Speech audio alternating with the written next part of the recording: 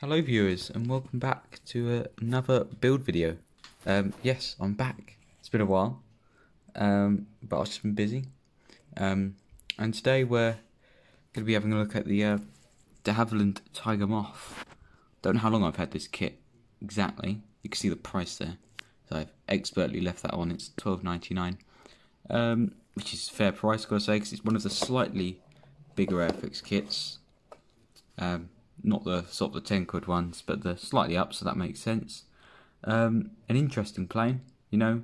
I'd say not uncommon, but like I see it quite a lot. Like at air shows, it features quite regularly and things, but um, not not obviously. It's a training aircraft, but so it's not obviously a fighter or anything.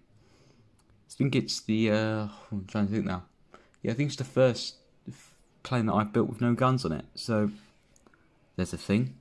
Um, and well, you can see it's got two decal schemes. It's got a um, or the, the Royal Navy one, the top there, and then a the bottom. I believe that's um, I don't know, but it's stationed in Papua New Guinea. So whether it's like Royal Australian Air Force or something like that, I don't know. But yep, um, the kit's pretty um, small. If you open it.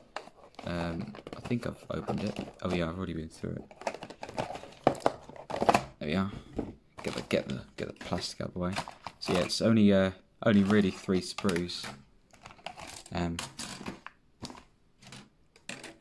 nothing too incredible, but you know, nice, you know, decent little size thing. Quite small actually, um, but the kit looks quite good.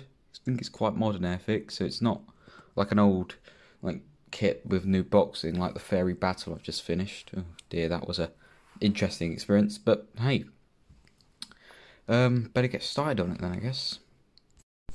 Hello. Well, some progress has, you know, taken place. Um, I've I've started working on the cockpit, and I'm quite happy with it actually. Um, I'm actually putting quite a lot of effort into it, which is, I don't normally do. Um, and I've so on the inside, I you know, do the basic cockpit green and things.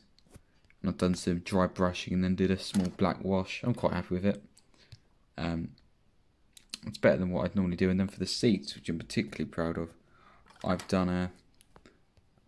I did the black wash and the dry brushing and things, but I've made some um, seat belts out of masking tape, which is very fiddly. But it's the first time I've done it. I think it looks quite nice really. And although you'll probably never see it, you know, it's the joiner, I guess. You know it's there. Um, I've also painted some other things, and I've got the decals ready to be. Well, they're on there. They should have set by now. Use some solution to keep them on there and things. So we'll be putting those in soon. And yeah, um, all coming along good.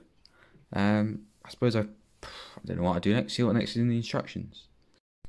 And well, quite a lot's happened since I last spoke to camera about it. Um, I'll run you through it. I've well, I've built the thing really. Um, I just haven't got the decals on, and the camera is not focusing. There we are. Um, so I've just put um, a gloss varnish over some of the uh, you know, decal areas, and um, I've done a really stupid thing. I've gone and lost the uh, paint scheme.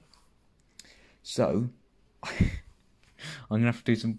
Well, I've got a, well, I've got an image of the side, so like that angle. So I know all the decals are on the side. It's just the roundel, so I'm just gonna have to, I don't know, guess or something. Um, well, we'll see how that goes. Um, I guess I'll probably come back when uh, I've I've done that.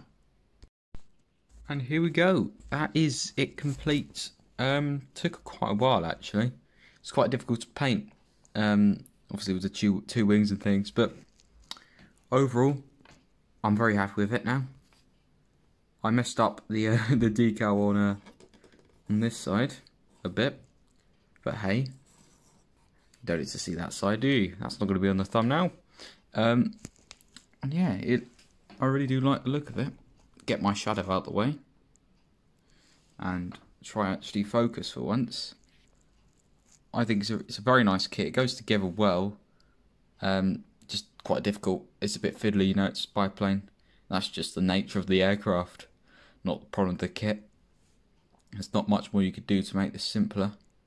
Yeah, I'm quite happy with it. Um, I think I think I hope if you you've enjoyed this video and if you have um, do give it a like.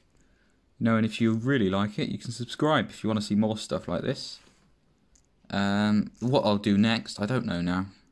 Loads of kits though to choose from. So, thank you for watching. I'll see you all in the next video. Goodbye.